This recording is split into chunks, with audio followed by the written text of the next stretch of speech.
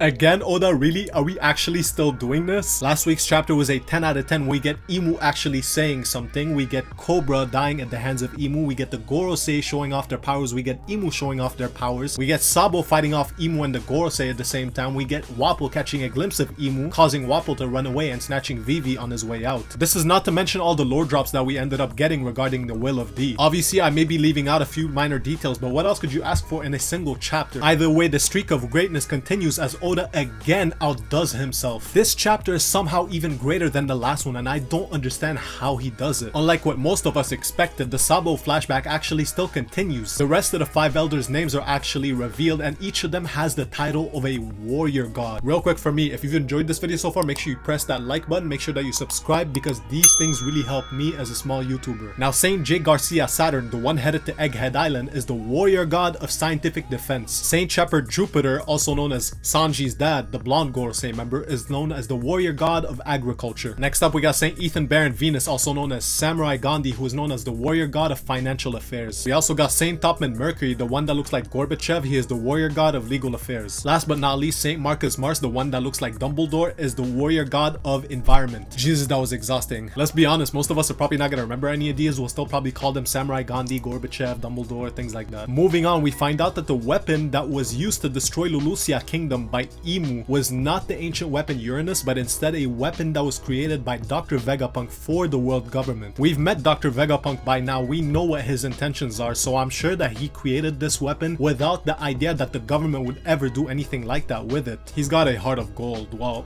for the most part. Like, man's got a big brain, he just wants to learn, he's not interested in any conflict, politics, he's not out to get anybody. Either way, I'd be interested to knowing what his reaction would be to the Lulusia incident. Moving on over, we also find out that there was a Saint Imu from the Nerona family among the first 20 founders of the world government. And like most of us expected, this tells us that Imu has been existing since the Void Century and is one of the first 20 founders of the world government. We also find out that Don Quixote Mjosgard, the good celestial dragon, has been sentenced to death by the Holy Knights for helping Shirahoshi during the events of the Reverie and assaulting St. Charlos. While this is unfortunate, we do see more important news here where the leader of the Holy Knights has been revealed. It's the same character that was speculated to be Shanks. Speaking of Shanks, this character also happens to be from the Figarland family just like him, further enforcing the idea that Shanks has celestial dragon blood. This also means that the Holy Knights leader, the one from the Figarland family, is most likely to be Shanks' father, Shanks' brother, or a close relative of some sort. If I were a betting man, I would say that this is Shanks' father due to the character looking a bit older. He is indeed a celestial dragon and his name happens to be Saint Figarland Garling. He wears sunglasses, has pointy hair, a pointy beard that helps form a crescent moon shape. Ichiro Oda, ladies and gentlemen. We cut to the present day and Ivankov's over here trying to speculate how the hell Imu could be from the founding 20. Ivankov then suggests that a previous user of Law's Ope Ope no Mi could have done the eternal life surgery on Imu like 800 years ago, which would then explain how Imu is still currently alive and ruling over the world. This is what most of the fandom has speculated so far, and I'm curious to know whether this is indeed the case. Again, we get another chapter of Dragon making shocked faces but not actually contributing to anything. Like, go do something, bro. Like, oh, Vegapunk gave the world government a weapon of this magnitude. I'm so shocked. Like, bro, your own second in command is overshadowing you. It's been like 1086 chapters and you still haven't done anything. Ooh, the world's most dangerous man, and then he wonders why all these things are happening as he has his feet up every other chapter, just making shocked faces reading the newspaper. Moving away from that, we get S Flamingo, S Crocodile, and S Gecko in this chapter, which leaves me wondering, are we gonna get S Clown, S Blackbeard, S Law, S Weevil by the end of the series, or is this it for the Seraphim? The chapter ends off with Big News Morgans and Vivi, with the narrator stating that Big News Morgans is about to do something ridiculous that's about to shake the whole world. Let's be honest, if we had to guess what it was, it's probably the existence of Imu sitting upon the empty throne and ruling over the world in the shadows this whole time. And with that, if you've enjoyed this video, make sure you press that like button, make sure that you're subscribed because these things really help me as a small YouTuber. Besides that, the comment question of the day is, do you think that Figarland Garling is Shanks' dad? Leave your thoughts in the comment section